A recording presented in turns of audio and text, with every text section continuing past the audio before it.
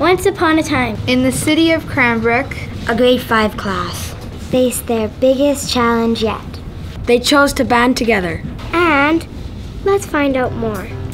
We're here at Gordon Terrace Elementary School in Cranbrook, BC, celebrating the fact that we are into seven months of a very creative project that two innovative, hardworking, dedicated teachers took on to support some struggling readers in grade five. In September, when we put our daily schedule up on the board, the kids groaned when they saw reading.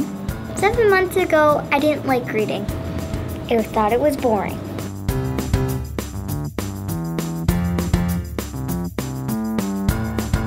There was no reading going on at all, and it didn't, it looked like behavior, and it wasn't behavior. We started yeah. looking around the room and we started seeing yeah. fake reading.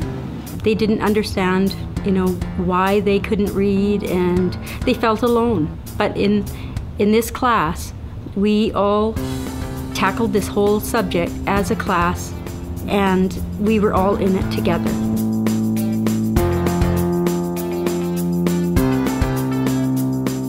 And uh, these teachers got on board started doing a lot of research and decided that there was something that they needed to do to help these kids so that they could become successful and confident in their reading abilities. The first thing that we knew we had to do was to get a lot of books at their reading level because they were borrowing books in the library that weren't really suitable for them. We needed something now and we needed it to be based in research, not a canned program.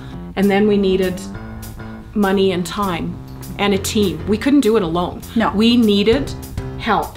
So we did not buy into any program. We just used our own teaching abilities and we referred to the research.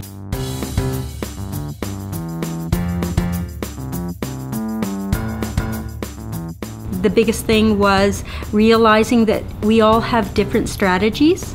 We changed our classroom library because we noticed right away that books that are lined up on a shelf are not appealing and really difficult to find. And so we went to bins and categorized books. We're always assessing the kids to see where they're at because we need to know that they're moving. We need to know that what we're doing is either working or not working.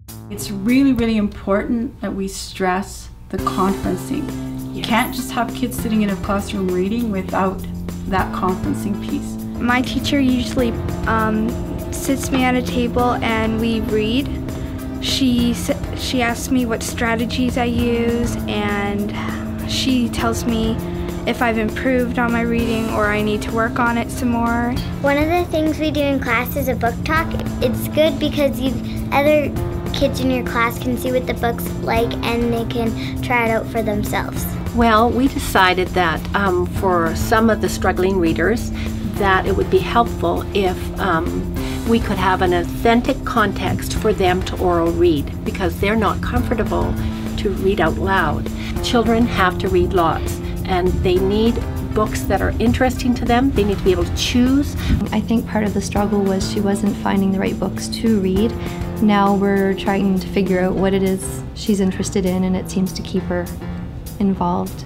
Now, seven months later, we have a culture of readers. In seven months, my child has gone from reading picture books to chapter books. I love to read. I read like an hour and a half at home. I'm supposed to read like, I'm not supposed to read, but it's usually at least half an hour. And then I usually read like two hours because I'm caught the book. And I think one of the biggest things is there is a sense of safety in the classroom. It's okay to be reading all different novels at all different levels at, at different times. The other day we had a presentation and we missed our reading time when I was going to put it in the afternoon and they said, whoa, we got enough time to read before recess. Can we read now? We prefer to read now. So they're making decisions. As a result of this, I would hope that we would be able to share this innovative practice with uh, all our schools and hopefully that they could have a look at this and, and adapt some of the things they're doing to the, the needs of, uh, of their kids and their school. And we believe all kids can read. They have the ability to learn, to grow. We just have to figure out how to reach each individual child with their reading and what works for them. Because with every child there's something different that's going to turn them on to reading, that's going to be the way to get them to read. And whether it's reading one on one and going through word strategies, or it's reading out loud to them to hook them into that perfect book, but every child can learn to read.